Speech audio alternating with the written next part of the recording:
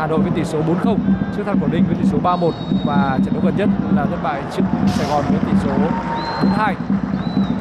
Và trận đấu đã được bắt đầu. Thành phố Hồ Chí Minh trong trang phục áo đỏ quần trắng, tất đỏ, đội chủ nhà sẽ ở phần sân bên phía tay trái mảnh nhỏ của quý các bạn. Phải có những sự điều chỉnh. Phi Sơn. Phi Sơn có phong độ tương đối tốt trong hóa Thành phố Hồ Chí Minh trong những trận đấu gần đây. Top trên của bảng xếp hạng nằm ở nhóm A nhưng thành tích phòng ngự của Hoàng Gia Lai thì thực sự là rất kém. Họ xếp thứ hai từ dưới lên. Hoàng Thịnh, Thanh Bình. Hiện nay thì Hoàng Thịnh, Thanh Bình là một đội tuyển vệ trung tâm của Thành phố Hồ Chí Minh. Thành phố Hồ Chí Minh đã quá nhiều bởi cơn bão chấn thương công hiền. Vẫn là công hiền, không được đột phá táo bạo của Dung Quang Nho nhưng đã không thể qua được bộ đôi Ngô Tùng Quốc.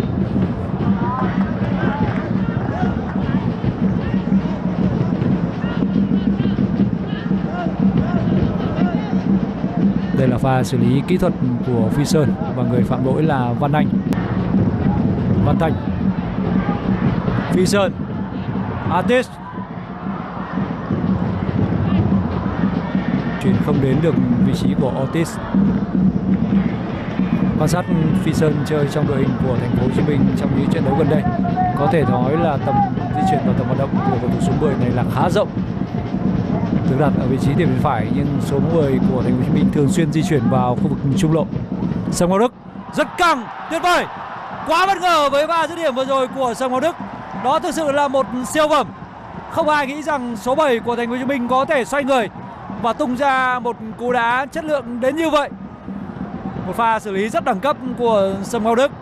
Đội trưởng của vô thành phố Hồ Chí Minh đã có một tình huống xoay sở và tung ra một cú đá rất bất ngờ. Chúng ta hãy cùng xem lại pha bóng này. Gần như là Sâm Cao Đức không cần quan sát.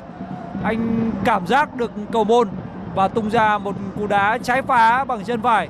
Chân thuận của Sâm Ngọc Đức và trái bóng đã ghim thẳng về phía góc xa. Lê Văn Trường đã dướn hết người nhưng cũng không thể với được trái bóng vừa rồi. Bàn thắng quá đẹp của Sân Ngọc Đức rất bất ngờ và nó khiến cho toàn bộ hàng thủ cũng như là thủ môn Lê Văn Trường sững sờ. Cả hai đội bóng đều chơi đôi công và nó sẽ hứa hẹn mang lại khá nhiều bàn thắng cho chúng ta. Phi Sơn. sân Ngọc Đức. Lỗi của Xuân Trường. Arien. Không được. Phi Sơn đã di chuyển vào bên trong trung lộ và cánh phải không có ai. Hậu vệ trẻ Ngô Tùng Quốc cũng đã có mùa giải thứ hai với Thành phố Hồ Chí Minh. Phi Sơn pha đảo chân quen thuộc, ta bóng rất tốt. Không được. Pha đảo chân như giang lạc của Phi Sơn và ngay sau đó là một tình huống tạt bóng rất chất lượng hướng đến vị trí di chuyển của Arien và Otis. Rất tiếc là trong tình huống này cả Otis và Aren đã đều không có được vị trí tốt. Tăng Tiến là một cầu thủ được đào tạo ở Hoàng Gia Lai. Ngô Tùng Quốc, Otis, Phi Sơn. Vẫn là Phi Sơn. Tình huống đột phá của Phi Sơn rõ ràng với mục đích là kiếm về cho đội bóng của mình một quả đá phạt và anh đã thành công. Gần như là không có cơ hội gì trong tình huống đột phá này nhưng Phi Sơn vẫn quyết định song thẳng vào khu vực phòng ngự của Hoàng Gia Lai với mục đích là kiếm về một quả phạt và ngay lập tức anh đã thành công liên tiếp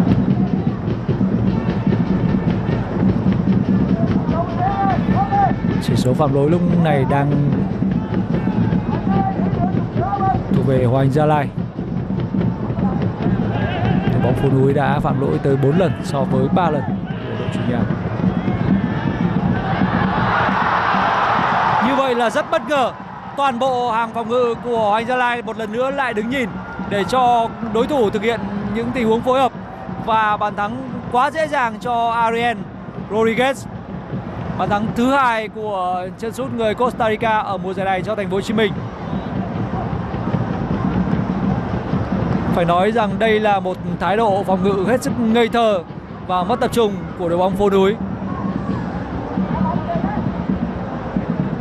Xuân Trường, người làm nhiệm vụ giữ che bóng cũng không làm tốt.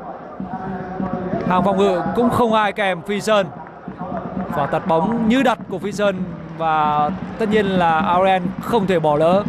Một tình huống dứt điểm từ cự ly chỉ khoảng 6 mét và chính giữa khung thành của thủ môn Lê Văn Trường. Có quá nhiều điều toàn tráng chất trong hệ thống phòng ngự của anh Gia Lai. Tất đỏ từ Xuân Trường phần sân bên cho đến các cầu thủ khác. Phi Sơn Ngô Tùng Quốc trồng biên khá hay chạm cuối cùng của Tùng Quốc không thực sự tốt khi anh phải đối mặt với sức ép của Văn Anh và Hồng Duy. Những trọng tài tốt nhất của V-League cũng đã được điều để nguy hiểm. Tiếp tục lại là một tình huống bóng hai mà không một cầu thủ nào áo trắng có phản xạ. Trong khi đó, người băng vào vẫn là đội khách đội chủ nhà thành phố Hồ Chí Minh chúng ta có thể nhìn thấy trong khu vực cấm địa của Hoàng Gia Lai có tới 6 cầu thủ áo trắng. Và ở tình huống bóng bật ra, tình huống ai thì cả 6 cầu thủ áo trắng này đều đứng nguyên tại chỗ. Của đối phương. Thể lực của Hoàng Gia Lai cũng không thực sự tốt. Xuân Trường. Văn Anh. Không được. Và xử lý quá non của Văn Anh.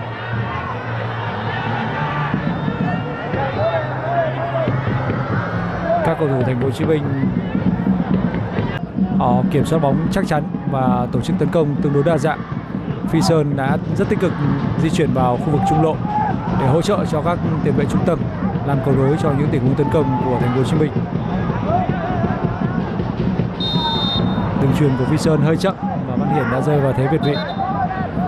Trong khi đó, Hoàng Gia Lai thì vẫn dựa chủ yếu vào những đường truyền từ tuyến 2 của Lương Xuân Trường.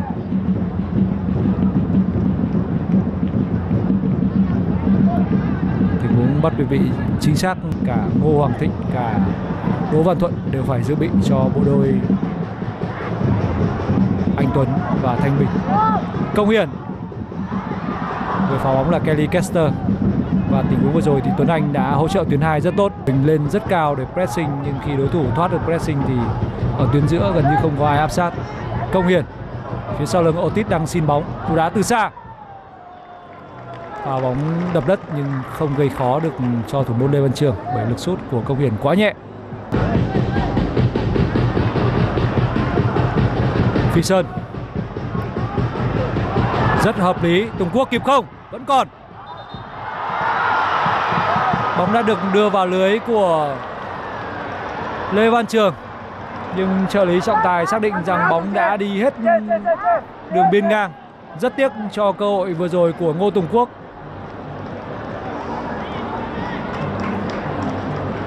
Ở góc quanh này thì cũng rất khó để có thể xác định bóng đi hết đường biên ngang hay chưa. Phi Sơn. Phi Sơn và Hồng Duy. Nguy hiểm! Cú tạt bóng của Phi Sơn, bóng lại đi hơi sâu và đi thẳng về phía khung thành của anh Gia Lai. Rất may là Lê Văn Trường đã chơi tập trung. Còn đây là tình huống mà Phi Sơn đã tạt bóng hơi sâu.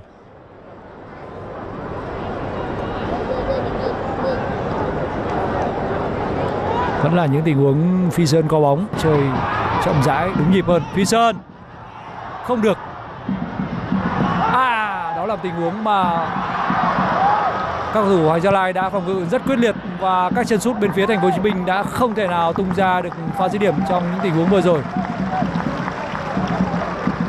Đặc biệt là chúng ta cùng xem lại tình huống này. Tuấn Anh đã rất quyết tâm và cực kỳ mạnh mẽ trong pha phòng ngự vừa rồi. Nếu như không có sự dứt khoát của Tuấn Anh ở pha bóng trước. Phi Sơn Phi Sơn cầm bóng rất tự tin và rất chắc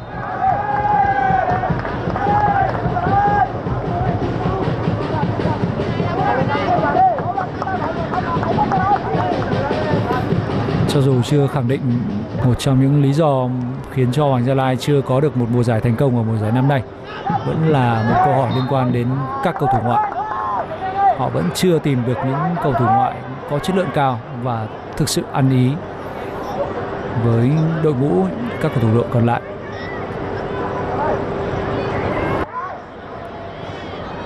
Trận đó đã bước sang phút bù giờ thứ tư rồi ba ngoại binh của Hoàng Gia Lai đã được đưa lên để tìm kiếm bàn gỡ, nhưng cuối cùng thì cũng không kịp. Thành phố Hồ Chí Minh đã có được điều mình muốn, đó là giành trọn vẹn 3 điểm ở trận đấu ngày hôm nay.